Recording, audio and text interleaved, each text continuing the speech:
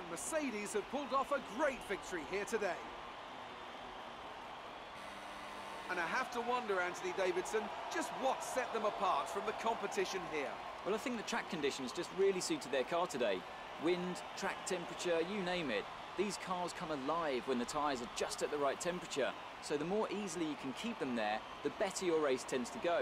And that's exactly what happened. Their car just looks so comfortable out there. And here are our podium drivers today after that excellent race. They've excelled here, as they so often do, and it's a well-deserved victory. Mercedes, then, are on top today.